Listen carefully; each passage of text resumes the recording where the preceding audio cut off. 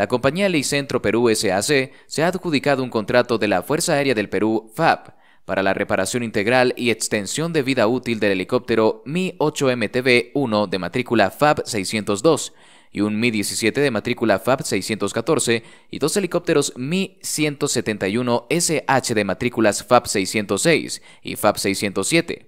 El valor de la adjudicación asciende a 104 millones de soles, equivalente actualmente a 29 millones de dólares.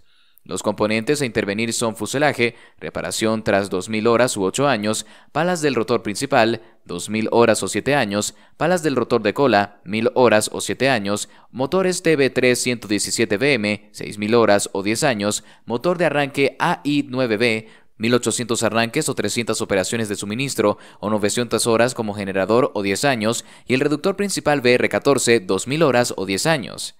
En el helicóptero Mi-8MTB-1 FAB-602 se realizarán trabajos conforme los boletines técnicos aplicables al fuselaje y componentes, el boletín aplicable a los motores, boletín aplicable a los reductores principales BR-14, boletín aplicable al motor auxiliar AI-9B, entre otros. En el caso del Mi-17 FAB 614, se aplicarán los boletines técnicos aplicables al fuselaje y componentes, boletín para los motores TB3 117BM, boletín para los reductores principales BR14, boletín para el motor auxiliar AI-9B, entre otros.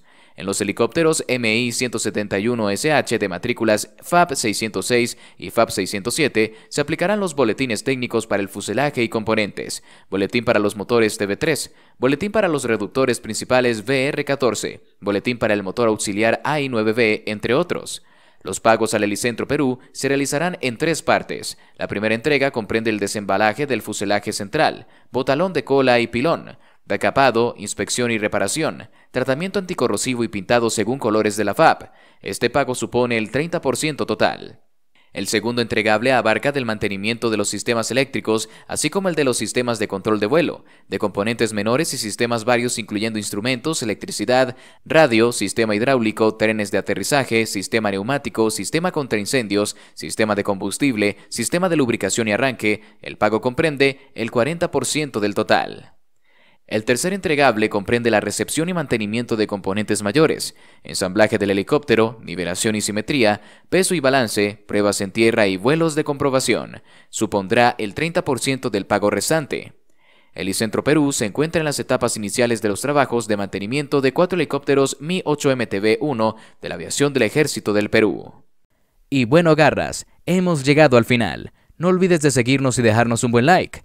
Hasta la próxima y que Dios los bendiga.